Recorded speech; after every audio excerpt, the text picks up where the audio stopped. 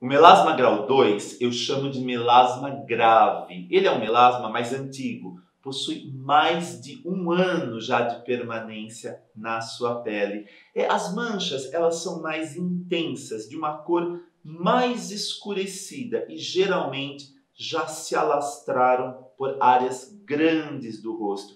São melasmas mais profundos. As pessoas que têm melasma grau 2 precisam de tratamentos mais intensivos. Então, por exemplo, é, é, produtos com vitamina C mais concentrados, sérums mais concentrados, protetores solares aplicados de dia e à noite também, desde que esses protetores solares possuam clareadores como vitamina C, niacinamida, por exemplo, que são é, potentes despigmentantes. E este melasma, então, uma vez iniciado o tratamento, inicia o processo de clareamento e ele poderá desaparecer ou poderá melhorar muito. Aí então você vai me perguntar: bom, se o meu melasma desaparecer, quer dizer que eu posso abandonar o tratamento? Depende.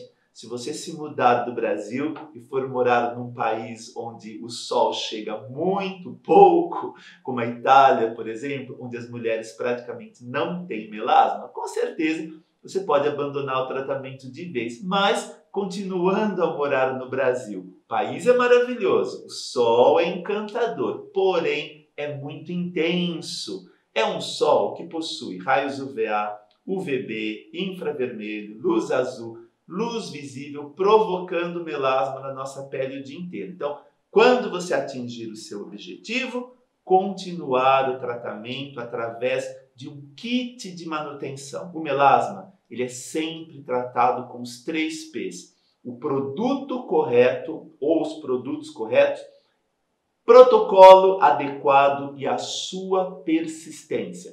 Vamos combinar vitamina C com sérums, com protetores específicos. Eu tenho certeza que ou o seu melasma desaparece ou vai melhorar muito. Você não vai ter mais vergonha de olhar no espelho.